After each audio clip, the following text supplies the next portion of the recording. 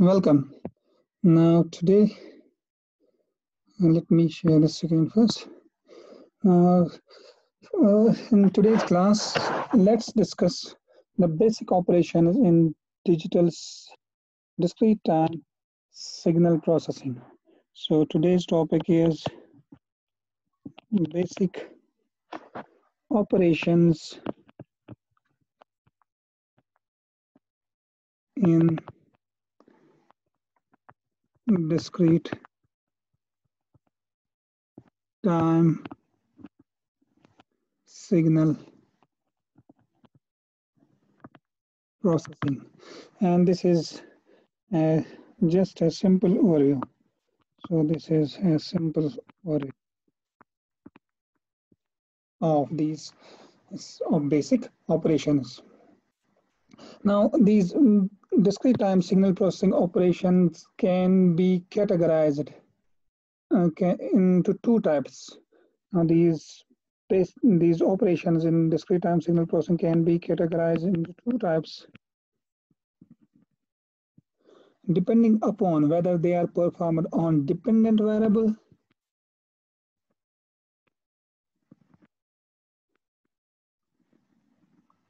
or independent variable. Independent variable are variables that are representing the signal that are representing the signal. So we can classify these basic operations in this, this discrete time signal processing into two categories. Now, and this classification is based on whether the operations are performed on the dependent variable are the independent variables that represent our signal. For example, if we say if the operations are performed on dependent variable, now the operations that fall into this category are operations like addition, subtraction, multiplication,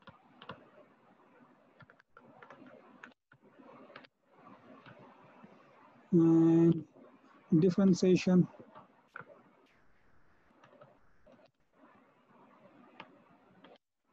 and integration.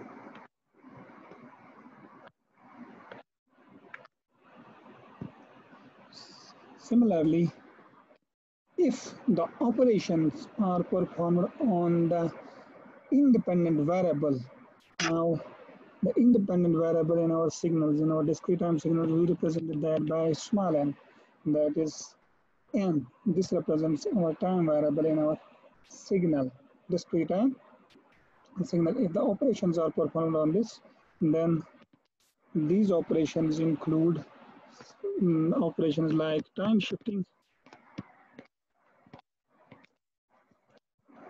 time scaling, folding. Uh, this is also sometimes referred as reflection of the signal. These are the various operations that we can perform on a, on a discrete time signal. So let's start with the operations that are in general performed on dependent variable of a signal. So let's start with this addition operation. So let's see how we perform the addition operation of two discrete time signals. Addition of two discrete time signals. Let's suppose x1 of n is our one signal and suppose this signal is let me say 1, 2, minus 1 and 2. For simplicity, let's take this simple example.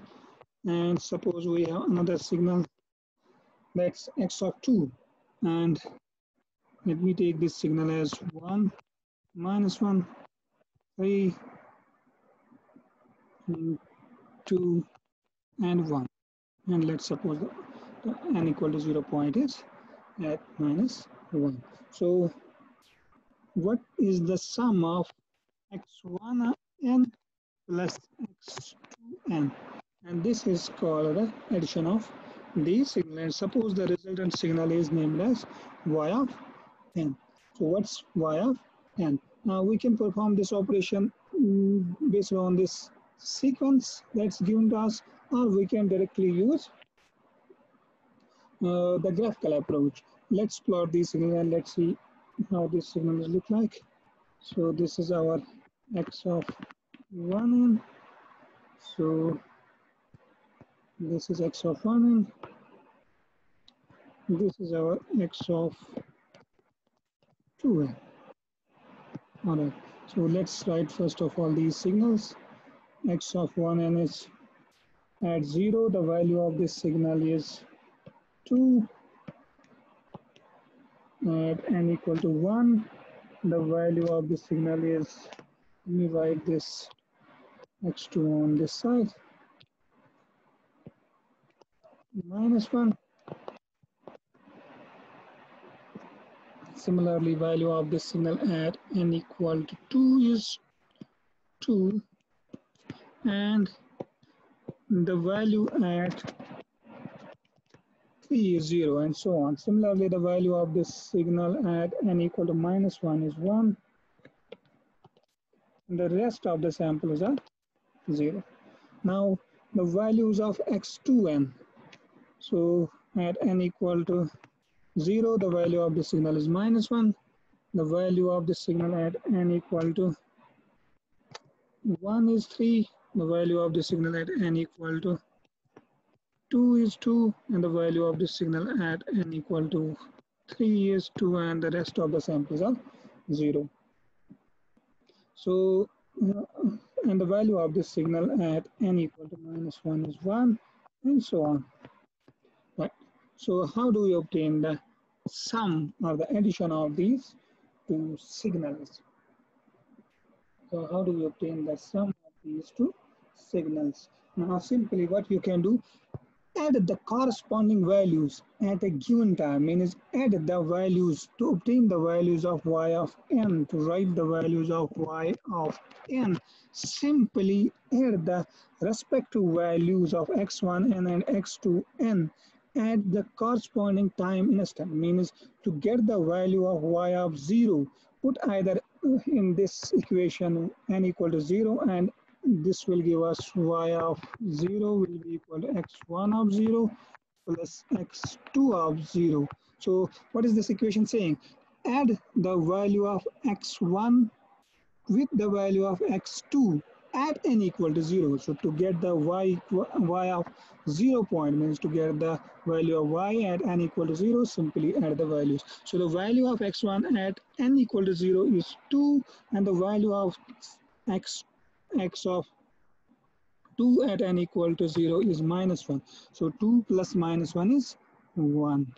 So the value of this signal at n equal to 0 is 1 you can simply write it like this similarly the value of so to get the value of y of n at n equal to 1 so that is simply put n equal to 1 this gives us which is same as x1 1 plus x2 of 1 so this simply tells us add the values of x1 and x2 at n equal to 1 time in a step so the value of the signal at n equal to 1 is minus 1 and the value of x2 at n equal to 1 is 3. So 3 minus 1 is 2.